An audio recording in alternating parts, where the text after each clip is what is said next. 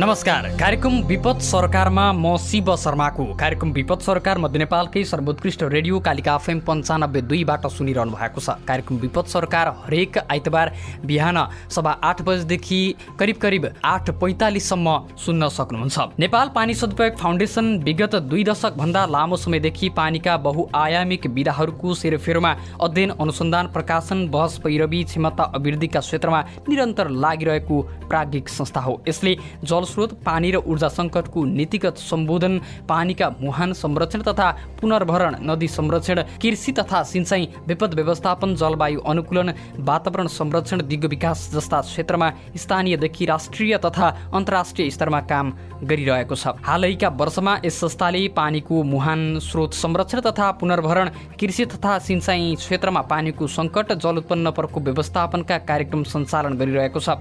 यो फाउन्डेसनले आइडिआरसी क्यानाडा को सहयोगमा मकवानपुर र चितवन जिल्लाका पूर्वी राप्ती नदी क्षेत्रमा जल उत्पन्न प्रकोपहरूको जोखिम व्यवस्थापन सम्बन्धी कार्यक्रम सञ्चालन गरिरहेको छ। सोही अन्तर्गत नेपाल पानी सदुपयोग फाउन्डेसन र कालिका एफएमको संयुक्त पहल र सहकार्यमा रेडियो कार्यक्रम विपद सरकार सञ्चालित छ। आजको कार्यक्रमको यो श्रृङ्खलामा हामीले पूर्वी राप्ती तटीय क्षेत्रमा रहेका विभिन्न पालिकाहरू मध्येमा जोखिमको मूल्याङ्कन गर्दा राप्ती नगरपालिका अग्रपङ्क्तिमा रहेको छ। राप्ती नगरपालिकामा जोखिम मूल्याङ्कनलाई हेरेर त्यसको क्षति न्यूनीकरण र पूर्व तयारीका कामहरू कसरी अगाडि बढिरहेका छन् पालिकाले के गरिरहेको छ? विशेष त यी विविध विषयमा कुराकानी गर्नेछौँ। हामीसँग कार्यक्रममा आज संवादका लागि हुनुहुन्छ राप्ती नगरपालिका जिल्लाका प्रमुख प्रभा बराल। आउनुहोस् उहाँसँगको संवाद सुरु गरौँ।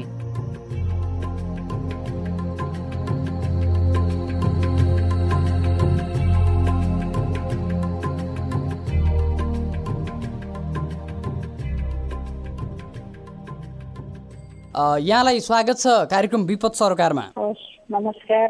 आराम हुनुहुन्छ? यो सिजनमा जब मनसुन सक्रिय भयो राप्ती नगरपालिकामा विपदका घटनाहरू चाहिँ के के भए?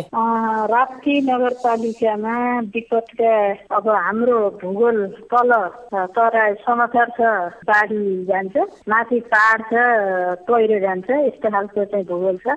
यो भूगोलले गर्दाखेरि पनि हाम्रो भूगोल अलिकति धेरै यो विपद निम्त्याउनका लागि अत्यन्त के अरे महत्त्वपूर्ण चाहिँ भूमिका खेल्ने भूगोल छ भन्छु कि मैले। किनभने पाहाडमा चाहिँ तपाईँको पहिरो गएको गइ गर्छ हाम्रो डोजर हुँदै बसेको चौबिसै घन्टा त्यस्तो खालको भूगोल छ। अब अहिले चाहिँ यो मनसुन सक्रिय भएपछि हाम्रो राप्ती नगरपालिका वडा नम्बर चारमा दुःखद घटना भएको छ। चारजनालाई पहिरोले बगायो। केही सत्र गते हो। तल फेरि चट्याङ परेर एकजना बिजुली माया भन्ने मोती बहादुर पर्दा भन्ने माथि बित्नुभयो दुईजना बेपत्ता हुनुभएको छ। र तल फेरि मोतीबहादुरको छोरा माथि चाहिँ कृष्णबहादुर पर्दा पनि बित्नुभयो। उहाँको त्यो कृष्णबहादुरको छोरी र श्रीमती पनि बित्नुभयो। उहाँहरूको बेपत्ता हुनुहुन्छ। अहिलेसम्म कृष्णबहादुर र कृष्णबहादुरका छोरी र श्रीमती भेटिएको छैन। त्यही बेलामा चाहिँ तल चाहिँ नौ नम्बर वडामा बिजुली माया श्रेष्ठलाई चट्याङ परेर बित्नु भएको छ यसरी चाहिँ यो स्वनको क्षति भएको छ भने अब यो भूगोलका हिसाबले चाहिँ माथि पाहाडमा धेरै ठाउँमा पहिरो गएको छ। अलिअलि उत्पादन हुने खेती खेतहरू पनि अब बाढीले पुरेको छ। बाटो त सबै सधैँ भत्कने अनि सधैँ पहिरो जाने अनि यताबाट जेसिबी पठाउने त्यही जेसिबीले चाहिँ पन्चाउँदै बलेरो चलाउने काम गरेका छौँ। र तल पनि हाम्रो लजाराले पनि धेरै नोक्सान पुर्यायो पम्पाले पनि धेरै नोक्सान पुर्यायो र बारीहरू पुर्ने खेतीहरू पुर्ने काम भएको छ र त्यो लजरातिर त यात्रा र लजराले चाहिँ गरेको अब भण्डारा लगायतका ठाउँमा पहिल्यैदेखि विपदको जोखिम पनि भएको र विपद आएको पनि होइन? इतिहासलाई हेर्ने हो भने दुई पटकसम्म भण्डारामा चाहिँ यो किसिमको यो जल उत्पन्न विपद निम्ति हो यो सिजनमा पनि यति धेरै जन र धनको क्षति भयो। हामी के कुरामा चाहिँ हाम्रो तयारी पुगेन छ जस्तो लागेको छ तपाईँलाई? होइन हामीले तयारी चाहिँ गरेकै हो। हामीसँग केही तयारी नपुगेको भन्ने कुरा पनि भन्न चाहिँ अलिकति पर्छ नै। जति हुनुपर्ने हाम्रो तयारी चाहिँ भएन। जस्तो यसपाला हामीले चाहिँ अलिकति ध्यान नपुर्याएको भए राप्तीमा स्परहरू कतै बिग्रन्छन् कि भनेर राम्रोसँग अनुगमन गरेर पुरानो स्परलाई चाहिँ मर्मत गर्ने अनि थप्न पर्ने नयाँ स्वर पनि थप्ने अनि त्यसपछि लोथरमा पनि हामीले चाहिँ तटबन्धन राम्रोसँग गर्ने अनि अरू खर खोलाहरू उत्तर दक्षिण बग्ने खोलाहरू यहाँ थुप्रै छन्। यहाँ चाहिँ तम्पा छ च्यात्रा छ लदरा छ अनि त्यसपछि ढुङ्ग्रे छ मार्ताल छ लोथर छ यी खोलाहरूलाई पनि हामीले तटबन्धन गरेर सुरक्षितै गरेका थियौँ। एउटा त तटबन्धनको कुरा भइहाल्यो। त्यस अलावा पनि हामीले तत्कालै त्यसरी चाहिँ बाढी आएर जब मान्छेलाई चाहिँ असुरक्षित हुने अवस्था आउँदाखेरिको अवस्थामा कसरी चाहिँ त्यसलाई चाहिँ हामीले तुरुन्तै सुरक्षित स्थानमा लाने भन्नका लागि त्यो बाढी आएपछि लगेर सुरक्षित ठाउँमा राख्नको लागि विद्यालयहरू पनि प्रत्येक वडामा हामीले तोकेका थियौँ। अनि हाम्रो विपद व्यवस्थापन समिति सबै राजनीतिक पार्टीका प्रतिनिधि सबै सामाजिक सङ्घ संस्था सुरक्षाकर्मी रेड क्रस हामी जनप्रतिनिधि हरूको एउटा चाहिँ हाम्रो चाहिँ यो विपद व्यवस्थापन समिति पनि हाम्रोमा छ। र त्यसले चाहिँ केही तत्कालका लागि उद्धारका सामग्रीहरू किन्ने निर्णय गर्यो। ती सामग्रीहरू पनि गत वर्ष पनि हामीले तयार गरेर आएका थियौँ। अहिले पनि त्यसले ठुलो काम गर्यो। जब त्यो सत्र गते ठुलो बाढी आयो त्यो बाढीको बेलामा चाहिँ त्यहाँ बिचमा जो चाहिँ पानीले एकदमै पानीका कारणले डुबानका कारणले आउन नसक्नेहरूलाई हाम्रो चाहिँ सुरक्षित ज्याकेट लाएर चाहिँ सुरक्षा कर्मीहरूले उद्धार गर्ने काम गर्नुभयो। र हामीले ती उद्धारका सामग्रीहरू पनि किनेका छौँ र हाम्रो जो जेसिबीलाई पनि अपडेट एकदमै तुरुन्तै हामीले चाहिँ आवश्यक पर्ने त्यसपछि हाम्रो विपद व्यवस्थापन गणसँग पनि हाम्रो सम्पर्क सम्बन्ध छ र उहाँहरूसँग बसेर पनि हामी बेला बेलामा चाहिँ छलफल गरेर उहाँहरूसँग पनि सहयोग लिने गर्छौँ। हामीले नगरपालिकाभित्रको विपदको जोखिमलाई कसरी एनालाइसिस गरेका छौँ?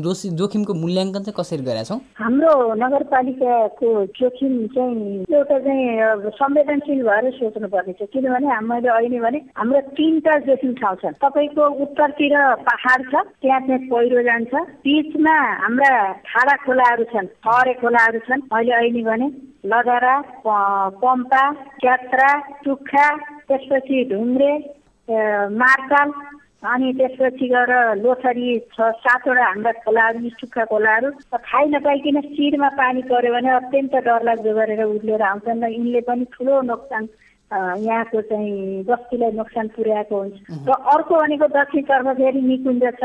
जङ्गली जनावर र जनताको बिच चाहिँ त्यो सधैँभरि जोखिम भइरहेको छ त्यसलाई राम्रोसँग सुरक्षित गर्न नसक्छ। मानव वन्यजन्तु द्वन्द पनि राप्ती नगरपालिकाको एउटा विपदको स्रोत हो भन्न हो तर अहिले हामीले धेरै त्यसलाई व्यवस्थित गरेका छौँ।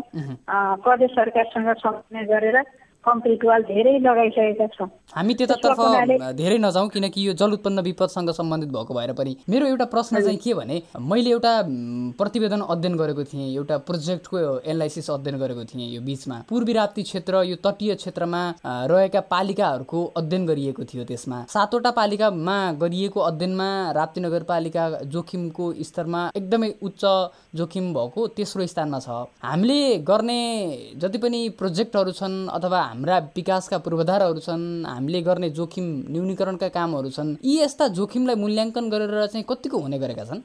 तपाईँले भन्नुभएको एकदमै हो हाम्रो राप्ती नगरपालिका जोखिम नगरपालिकाहरूमध्ये एउटा पर्छ त्यो चाहिँ अब त्यसका लागि अहिले एउटा चाहिँ यो विपद न्यूनीकरण गर्नको लागि एउटा चाहिँ न्यूनीकरण सम्बन्धी एउटा कार्यविधि पनि हामीले अहिलेको नगरसभाले पास गरेका छौँ। र यो चाहिँ अब हाम्रो जटिल समस्या हो भन्ने कुरा चाहिँ हामीले यसबारेमा चाहिँ गण अध्ययन र छलफल पनि चलाएका छौँ। र यसलाई मध्यनजर राखेर हाम्रो विपद व्यवस्थापन समितिलाई पनि र त्यसपछि कार्यपालिकामा यी कुराहरूको बारेमा छलफल पनि भएको छ। र अब यसले यसलाई न्यूनीकरण गर्नको लागि हामीले अब कतिपय यो अन्यास यो प्राकृतिक रूपबाट जो चाहिँ अब हाम्रो भनेको माथि पाहाडमा जति पनि पहिरोहरू जान्छ अब त्यो पहिरोहरूलाई रोक्नको लागि यो जलाधार संरक्षण भनेर वृक्षारोपण गर्ने कार्यक्रमहरू हामीले कार्यान्वयन सञ्चालन गरिरहेका छौँ। हामी र विभिन्न सङ्घ संस्थासँग समन्वय गरेर पनि हामीले गरेका छौँ। र त्यसपछि कतिपय त्यहाँ पाहाडतिर यो खोरिया छाड्ने कारणले गर्दाखेरि पनि त्यसलाई रोक्नको लागि पनि हामीले चाहिँ विभिन्न कार्यक्रमहरू सञ्चालन गरेका छौँ। भने जस्तो एउटा समस्या पाहाडमा के छ भने बाटो बनाउँदाखेरि धेरै यी हाम्रा साधनहरू प्रयोग हुँदाखेरि त्यसले पनि धेरै चोहिम बनाएको छ। अब त्यसलाई चाहिँ जति बाटो बने बने। अब बनेका बाटाहरूलाई बलियो पक्को बनाउने दिगो बनाउने। अब नयाँ बाटो धेरै ट्र्याक नखोल्ने भनेर पनि हामी लागेका छौँ। हो मैले यहीँनिर यहीँनिर प्रश्न गर्न खोजेको जब सङ्घीयता आयो सङ्घीयता आइसकेपछि देखाउने खालको विकास हुँदाखेरि घर घरमा डोजर पुग्यो। डोजरका ड्राइभर चाहिँ इन्जिनियर बन्दाखेरि विपदको जोखिम एकदमै भयो बढी भयो। राप्तीमा खोरिया खन्दाखेरि पहिरो आउँछ भन्ने तपाईँहरूलाई थाहा छ तर तपाईँहरूले राप्तीमा कति ठाउँमा अनावश्यक रूपमा वातावरणीय प्रभाव मूल्याङ्कन बिनै सडक निर्माण गरिरहनु भएको छ भन्ने कुरा चाहिँ तपाईँहरूले कहिले एनालाइसिस गर्नुहुन्छ? अब हुन त यो राष्ट्रिय स्तरका यो जुन चाहिँ यो भण्डारा मलिकको बाटो बनाउँदाखेरि त त्यसलाई चाहिँ वातावरणीय प्रभाव मूल्याङ्कन गरेर नै बनाइएको छ। कतिपय शाखा बाटोहरू बनाउँदाखेरि त्यसलाई हामीले ध्यान दिनुपर्छ।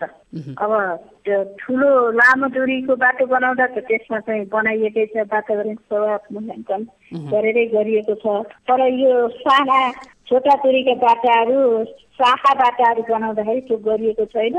त्यसलाई चाहिँ अब हामी अत्यन्त धेरै महत्त्वका साथ राखेर यो समस्या समाधान गर्नुपर्छ चाहिँ हामी लाग्नुपर्छ भन्ने लागेको छ। वातावरणीय प्रभाव मूल्याङ्कन अलिकति झन्झटिलो प्रक्रिया हो। यो झन्झट चाहिँ स्थानीय प्रतिनिधिहरूले उठाउन चाहँदैनन् पनि भन्छन् नि। अब झन्झटिलो भन्दा पनि अब के हो भने अब विकासलाई दिगो र बलियो बनाउने हो भने वातावरणीय प्रभाव मूल्याङ्कन अत्यन्त जरुरी छ।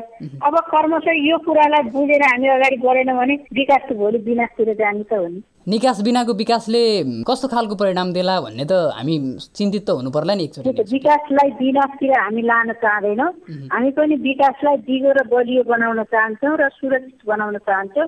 विनाशतिर लान चाहँदैनौँ अब त्यतातिर हामी जानुपर्छ र हामीले गर्ने कामहरू त्यसरी अगाडि बढाउनुपर्छ यो सिजन मात्रै हामीले मनसुन सुरु भएपछि हेर्ने हो भने मेलम्सीमा जुन किसिमको अप्रत्याशित घटना भयो हामीले कहिल्यै पनि सुन्दै नसुनेको मनाङमा त्यस्तै खालको घटना भयो। राप्ती त त्यसै पनि जोखिमको उच्च क्षेत्रमा यो अप्रत्याशित रूपमा आउने यस्तो खालको यो विपदबाट जोगिनको लागि यो क्षतिको न्यूनीकरण गर्नको लागि हामीले कतै दीर्घकालीन योजनाको आवश्यकताको महसुस कतिको गरेका छौँ यसको लागि हामी मैले अहिले भने यो दिगो विकासलाई कार्यान्वयन गर्ने सन्दर्भमा हामीले चाहिँ अ, यसै भित्र टेकेर यो विपद व्यवस्थापन कार्यविधि बनाएर यसै मार्फत अब चाहिँ बन गर्ने जति पनि विकासका कामहरू छन् त्यसलाई चाहिँ प्रभावकारी ढङ्गले बनाउने र त्यसले त्यो विकासले चाहिँ भोलि कुनै पनि क्षेत्रमा असर नपर्ने गरेर बनाउने भन्ने सोचका साथ हामीले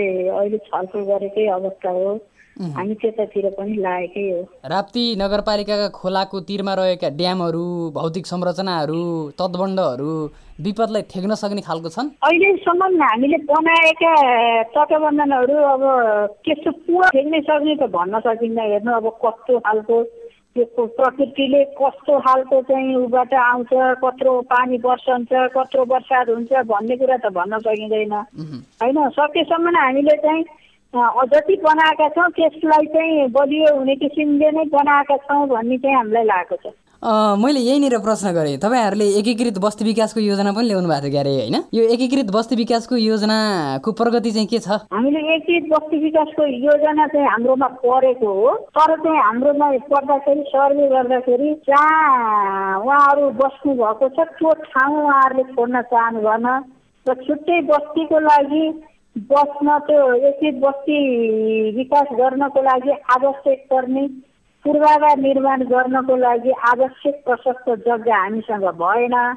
त्यसपछि त्यो कार्यक्रमलाई हामीले सम्पन्न गर्न सकेनौँ। हामीले तर यो यस्तो जोखिमयुक्त क्षेत्रमा एकीकृत बस्ती विकासको योजना त लागू गर्न पर्ने हो नि। तर हामीले कहीँ न कहीँ मिस्टेक त गरे हो नि। यस्तो भयो यो चाहिँ कस्तो भयो भने जस्तो हाम्रो दुई हजार बहत्तर सालको भूकम्प गएको बेलामा राप्ती नगरपालिका वडा नम्बर तेह्रको एसिकाई भन्ने ठाउँबाट चाहिँ हामीले त्यहाँ चाहिँ त्यो क्षेत्र जोखिमपूर्ण क्षेत्र छ भनेर चाहिँ प्राविधिकहरूबाट चाहिँ कुरा आएपछि अनि भूकम्प प्राधिकरणले त्यहाँको तेह्र घरलाई चाहिँ लालपुर र कालीटारमा दियो। दिएपछि त्यहाँबाट हामीले त्यहाँका जनतालाई त्यहाँ चारमा खोज्यो उहाँहरू लालपुर र उहाँहरूसँग छ एउटा दुईवटा घर बनेको छ सबै त्यहाँ तल आएर सरेर बस्न चाहनुहुन्न। किनभने उहाँहरूको भनेको के छ भने हामीलाई तर खुङरुङ घर मात्रै गरेर त्यहाँ हाम्रो चाहिँ बस्ती छ दाएर छ गाई छ अनि कुखुरा छ अनि हामीलाई चर्ने ठाउँ गर्ने ठाउँ छैन त्यहाँ गएर छुपुक्क बसेर मात्रै के खाने भन्ने चाहिँ उहाँहरूको चाहिँ कुरा भएको हुनाले तपाईँ आफै पनि महिला हुनुहुन्छ।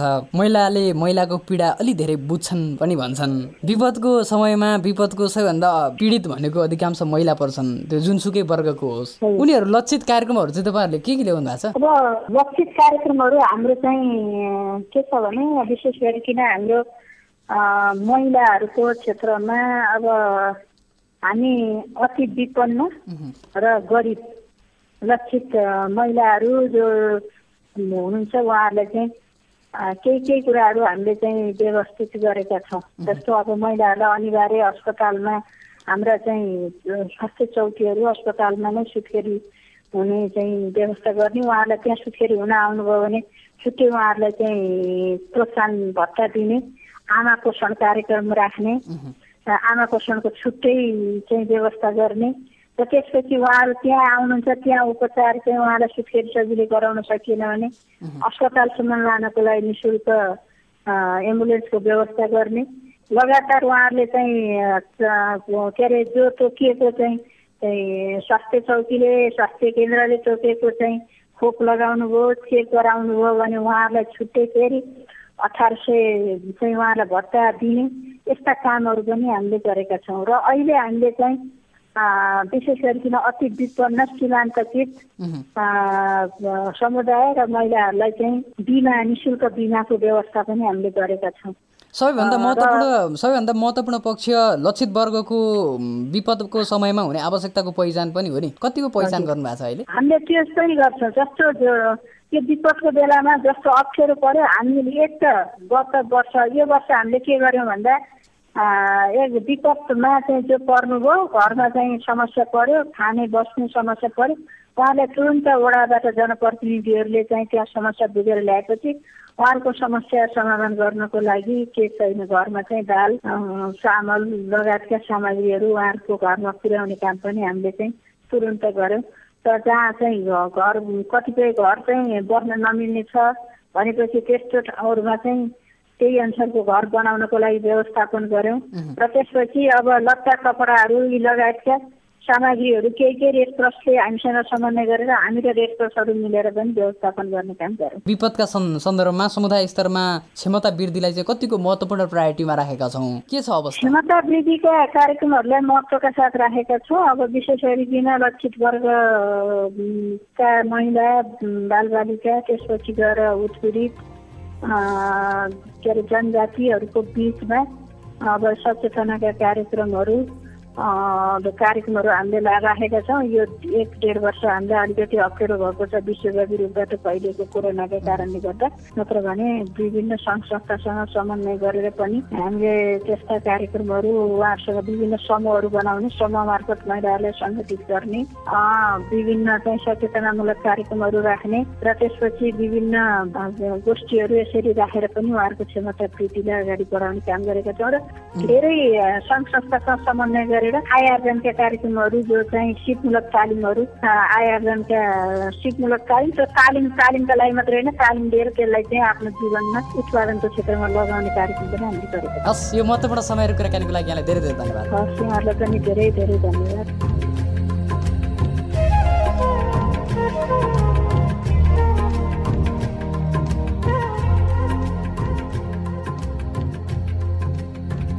नमस्कार। कार्यक्रम विपद सरकारमा म शिव शर्माको। कार्यक्रम विपद सरकार मध्य नेपालकै सर्वोत्कृष्ट रेडियो कालिका एफएम पन्चानब्बे दुईबाट सुनिरहनु भएको छ। कार्यक्रम विपद सरकार हरेक आइतबार बिहान सभा आठ बजेदेखि करिब करिब आठ पैँतालिससम्म सुन्न सक्नुहुन्छ। नेपाल पानी सदुपयोग फाउन्डेसन विगत दुई दशकभन्दा लामो समयदेखि पानीका बहुआयामिक विधाहरूको सेरोफेरोमा अध्ययन अनुसन्धान प्रकाशन बहस पैरवी क्षमता अभिवृद्धिका क्षेत्रमा निरन्तर लागिरहेको प्राज्ञिक संस्था हो। यसले जलस्रोत पानी र ऊर्जा सङ्कटको नीतिगत सम्बोधन पानीका मुहान संरक्षण तथा पुनर्भरण नदी संरक्षण कृषि तथा सिँचाइ विपद व्यवस्थापन जलवायु अनुकूलन वातावरण संरक्षण दिगो विकास जस्ता क्षेत्रमा स्थानीयदेखि राष्ट्रिय तथा अन्तर्राष्ट्रिय स्तरमा काम गरिरहेको छ। हालैका वर्षमा यस संस्थाले पानीको मुहान स्रोत संरक्षण तथा पुनर्भरण कृषि तथा सिँचाइ क्षेत्रमा पानीको सङ्कट जल उत्पन्न परको व्यवस्थापनका कार्यक्रम सञ्चालन गरिरहेको छ। यो फाउन्डेसनले आइडिआरसी क्यानाडाको सहयोगमा मकवानपुर र चितवन जिल्लाका पूर्वी राप्ती नदी क्षेत्रमा जल उत्पन्न प्रकोपहरूको जोखिम व्यवस्थापन सम्बन्धी कार्यक्रम सञ्चालन गरिरहेको छ। सोही अन्तर्गत नेपाल पानी सदुपयोग फाउन्डेसन र कालिका एफएमको संयुक्त पहल र सहकार्यमा रेडियो कार्यक्रम विपद सरकार सञ्चालित छ। आजको कार्यक्रमको यो श्रृङ्खलामा हामीले पूर्वी राप्ती तटीय क्षेत्रमा रहेका विभिन्न पालिकाहरू मध्येमा जोखिमको मूल्याङ्कन गर्दा राप्ती नगरपालिका अग्रपङ्क्तिमा रहेको छ। राप्ती नगरपालिकामा जोखिम मूल्याङ्कनलाई हेरेर त्यसको क्षति न्यूनीकरण र पूर्व तयारीका कामहरू कसरी अगाडि बढिरहेका छन् पालिकाले के गरिरहेको छ? विशेष त यी विविध विषयमा कुराकानी गर्नेछौँ। हामीसँग कार्यक्रममा आज संवादका लागि हुनुहुन्छ राप्ती नगरपालिकाका प्रमुख प्रभा बराल। आउनुहोस् उहाँसँगको संवाद सुरु गरौँ।